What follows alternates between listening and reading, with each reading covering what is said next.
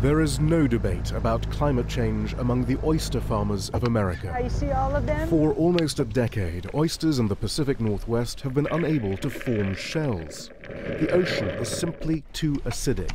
It eats away at their attempts to mold calcium carbonate to their bodies. The acidity is a result of the surge in the Earth's carbon dioxide levels. So this is one of our hatchery buildings. But mainland oyster farmers think they've found a fix some 4,000 kilometers away in the Pacific Ocean. A big hot tub. A big, a big hot tub. These tanks on the big island of Hawaii contain millions of baby oysters. Here, they will be able to form their shells before being exported to the Pacific Northwest, suitably armored and ready to grow into adults. These are six days old, and I just screened them. And now some Hawaiian entrepreneurs are also buying the baby oysters in the hope of developing a native oyster industry here. This is the most isolated landmass in the whole world, and so it's uh, we're a long ways from everything out here. So you're safe from acidification? I don't know. I can't say that.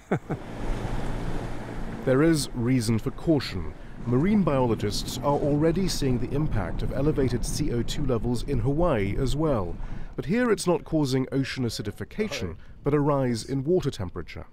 Nowhere is immune from the effects of climate change. Just as in the Pacific Northwest, oysters are having difficulty forming shells, here in Hawaii, corals are having difficulty forming reefs.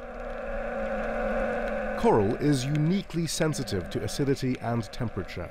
Both coral and oysters need to absorb calcium carbonate to create their exoskeletons. And though acidification isn't a problem here yet, the warming waters are.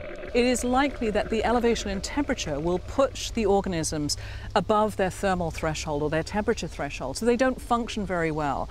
Um, so it's unclear which of the two evils will get there first, but it's clear that we will get there.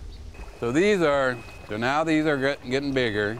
The oyster hatcheries of Hawaii are an attempt to adapt to climate change. But even these may one day be obsolete. Uh, probably one more week, and that'll be sellable.